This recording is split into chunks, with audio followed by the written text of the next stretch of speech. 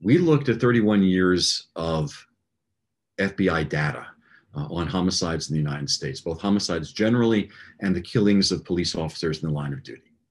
Uh, and we looked at it specifically because we wanted to see uh, if there was an effect, uh, if, if, the death penalty in some manner drove murder rates. Uh, what we found was it doesn't. Uh, not only does it not make the public safer, uh, it doesn't make police safer. We looked at the, the data in a couple of different ways. First, we aggregated it to look at the average uh, to see if states that had the death penalty uh, had lower murder rates, uh, you know, because the, the, death penalty was driving them down. Uh, and what we found was consistently uh, over this more than three decades of, of review, states that had the death penalty had higher murder rates than states that didn't.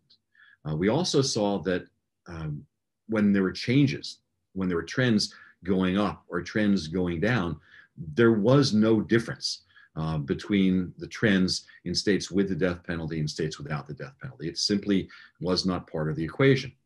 Uh, we looked at three different groups of states states that had the death penalty, states that never had the death penalty, and states that during this 30 year period went from having it to having abolished it.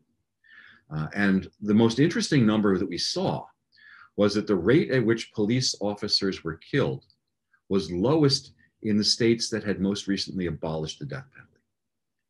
That makes no sense at all if the death penalty uh, is a deterrent, particularly uh, a deterrent with respect to, uh, to killing police officers.